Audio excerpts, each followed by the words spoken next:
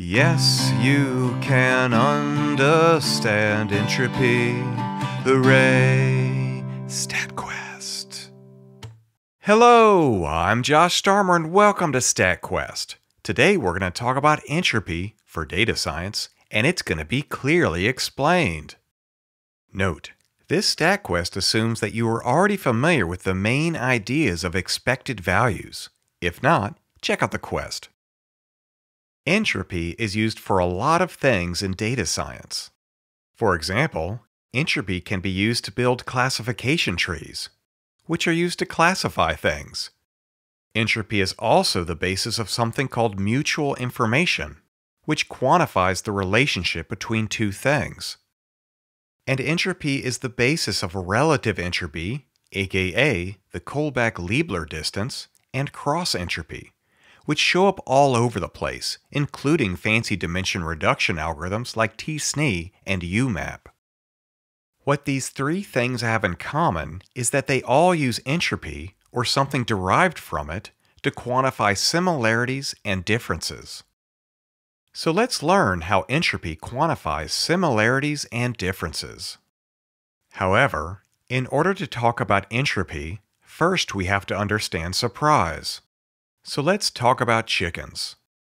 Imagine we had two types of chickens, orange and blue, and instead of just letting them randomly roam all over the screen, our friend StatSquatch chased them around until they were organized into three separate areas A, B, and C.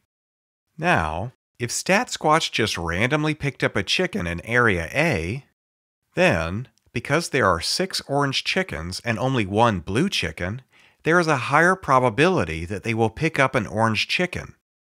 And since there is a higher probability of picking up an orange chicken, it would not be very surprising if they did. In contrast, if StatSquatch picked up the blue chicken from Area A, we would be relatively surprised.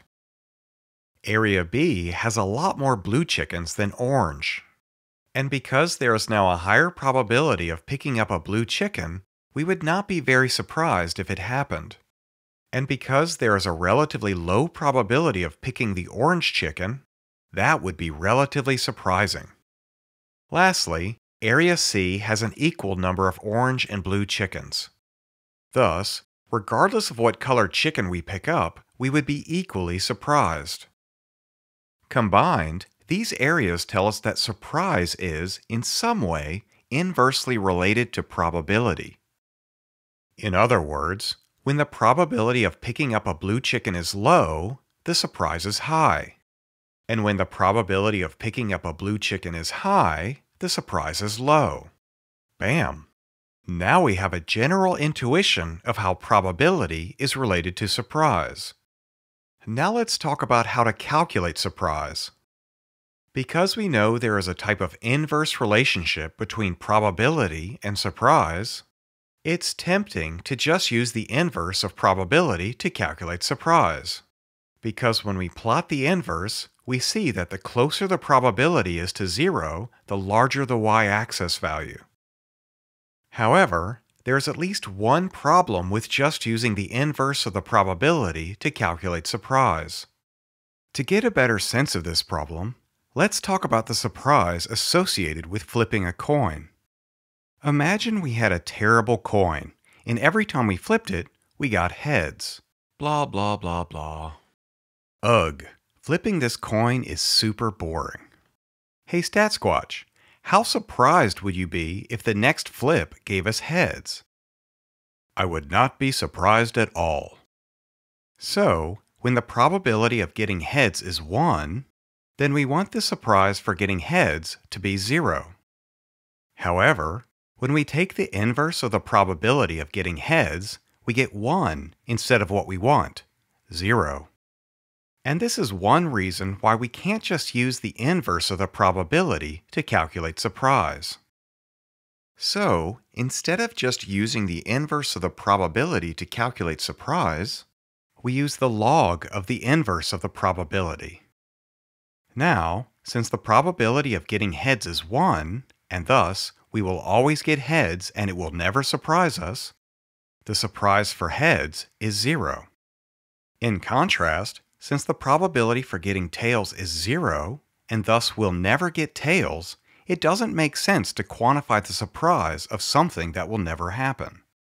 So when we plug in zero for the probability, and use the properties of logs to turn the division into subtraction, the second term is the log of zero. And because the log of zero is undefined, the whole thing is undefined. And this result is okay because we're talking about the surprise associated with something that never happens.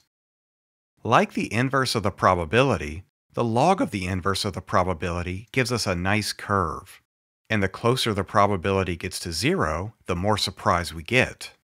But now the curve says there is no surprise when the probability is 1. So surprise is the log of the inverse of the probability.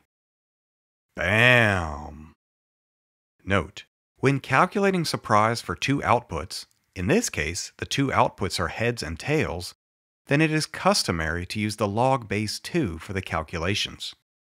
Now that we know what surprise is, let's imagine that our coin gets heads 90% of the time, and it gets tails 10% of the time. Now let's calculate the surprise for getting heads and tails. As expected, because getting tails is much rarer than getting heads, the surprise for tails is much larger. Now let's flip this coin three times, and we get heads, heads, and tails. The probability of getting two heads and one tail is 0.9 times 0.9 for the heads times 0.1 for the tails. And if we want to know exactly how surprising it is to get two heads and one tail, then we can plug this probability into the equation for surprise and use the properties of logs to convert the division into subtraction and use the properties of logs to convert the multiplication into addition. And then plug and chug. And we get 3.62. But more importantly, we see that the total surprise for a sequence of coin tosses is just the sum of the surprises for each individual toss. In other words, the surprise for getting one heads is 0.15, and since we got two heads, we add 0.15 two times, plus 3.32 for the one tail, to get the total surprise for getting two heads and one tail. Medium bam. Now, because this diagram takes up a lot of space, let's summarize the information in a table. The first row in the table tells us the probability of getting heads or tails. And the second row tells us the associated surprise. Now, if we wanted to estimate the total surprise after flipping the coin 100 times, we approximate how many times we will get heads by multiplying the probability we will get heads, 0.9, by 100 and we estimate the total surprise from getting heads by multiplying by 0.15. So this term represents how much surprise we expect from getting heads in 100 coin flips. Likewise, we can approximate how many times we will get tails by multiplying the probability we will get tails, 0.1, by 100. And we estimate the total surprise from getting tails by multiplying by 3.32. So the second term represents how much surprise we expect from getting tails in 100 coin flips. Now we can add the two terms together to find out the total surprise, and we get 46.7. Hey, StatSquatch is back. Okay, I see that we just estimated the surprise for 100 coin flips. But aren't we supposed to be talking about entropy? Funny you should ask. If we divide everything by the number of coin tosses, 100, then we get the average amount of surprise per coin toss, 0.47. So, on average, we expect the surprise to be 0.47 every time we flip the coin. And that is the entropy of the coin. The expected surprise every time we flip the coin. Double bam! In fancy statistics notation, we say that entropy is the expected value of the surprise. Anyway, since we are multiplying each probability by the number of coin tosses, 100, and also dividing by the number of coin tosses, 100, then all of the values that represent the number of coin tosses, 100, cancel out. And we are left with the probability that a surprise for heads will occur times its surprise, plus the probability that a surprise for tails will occur times its surprise. Thus, the entropy, 0.47, represents the surprise we would expect per coin toss if we flipped this coin a bunch of times. And yes, expecting surprise sounds silly, but it's not the silliest thing I've heard. Note, we can rewrite entropy just like an expected value using fancy sigma notation. The x represents a specific value for surprise, times the probability of observing that specific value for surprise. So, for the first term, getting heads, the specific value for surprise is 0.15, and the probability of observing that surprise is 0.9. So we multiply those values together. Then the sigma tells us to add that term to the term for tails. Either way we do the math, we get 0.47. Now, personally, once I saw that entropy was just the average surprise that we could expect, entropy went from something that I had to memorize to something I could derive. Because now we can plug the equation for surprise in for x, the specific value. And we can plug in the probability.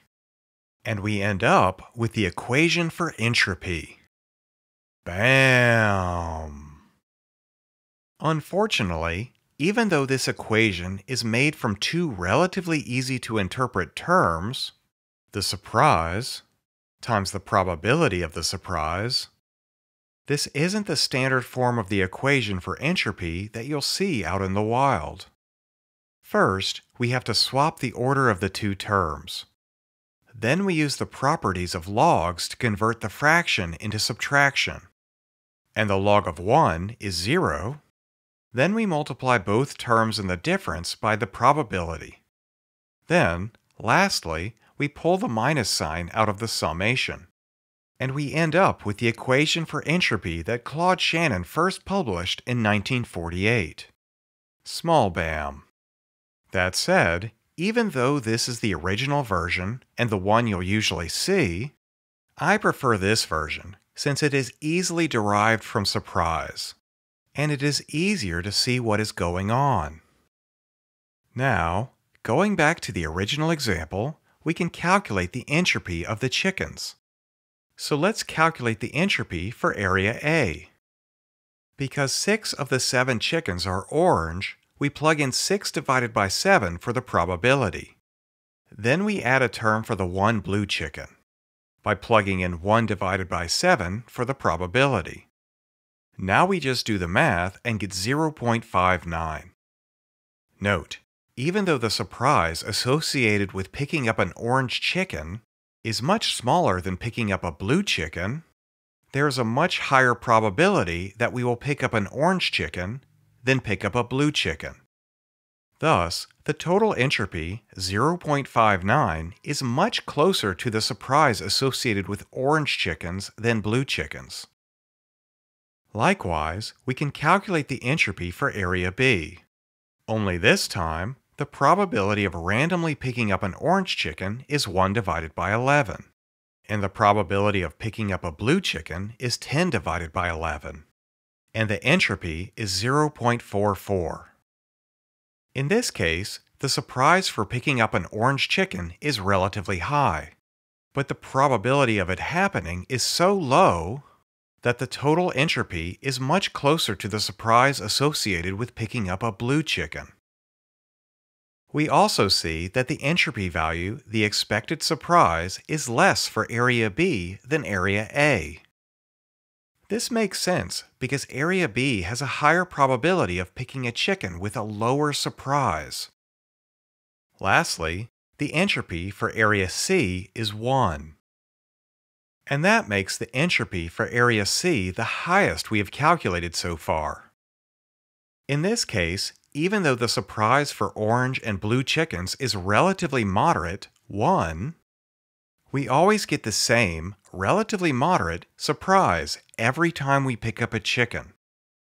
And it is never outweighed by a smaller value for surprise like we saw earlier for areas A and B.